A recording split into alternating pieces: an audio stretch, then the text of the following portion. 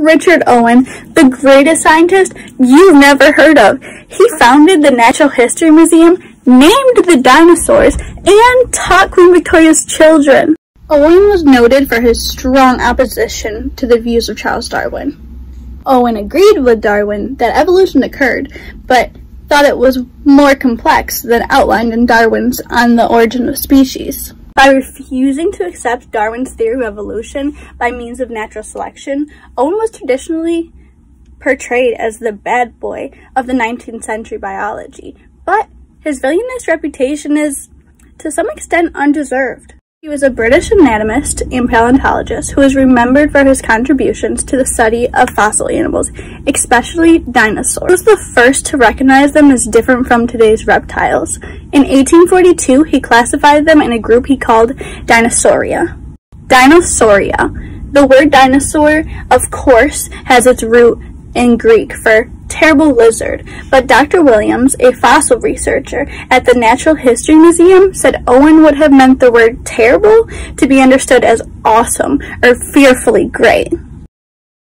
Dinosaur fossils have been the subject of mystery, superstition, and scholarly wonder for millennia. Young Owen recognized that the remains shared a number of distinctive features. In 1863, Owen reported on the first specimen of an unusual Jurassic fossil from Germany, the famous bird that I don't know how to pronounce. This was perhaps Owen's most famous act that resulted from his examination in reptile-like fossils bones that were being found in southern England by naturalists. Owen was described as extremely driven. As well as his academic research, he was motivated by the desire to share the latest specimens and theories with the public, hence his work establishing the museum.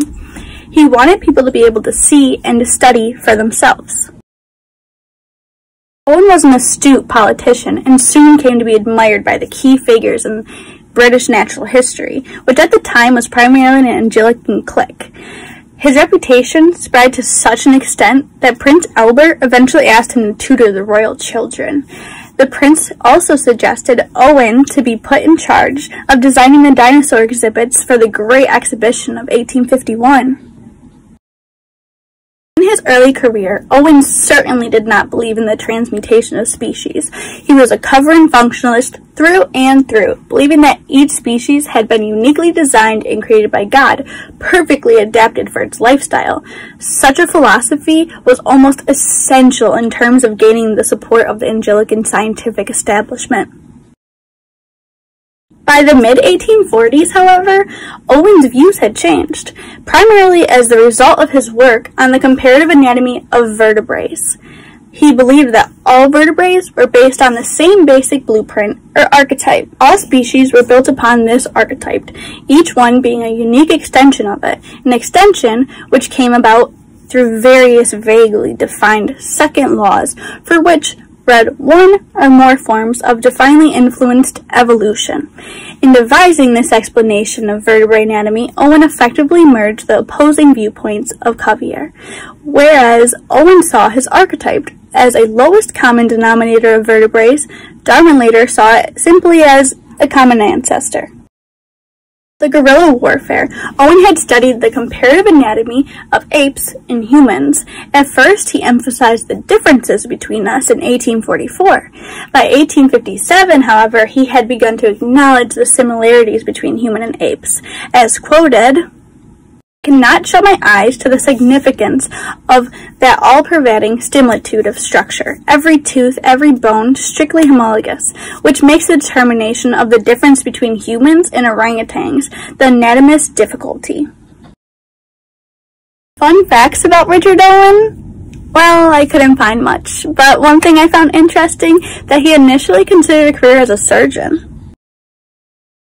I hope you're all having a terrible time transitioning into online distant learning. Stay healthy. This bird, ligarifica, ligarifica, is a British anatomist and paleontologist. British. The famous bird, Archaeopteryx lithographica.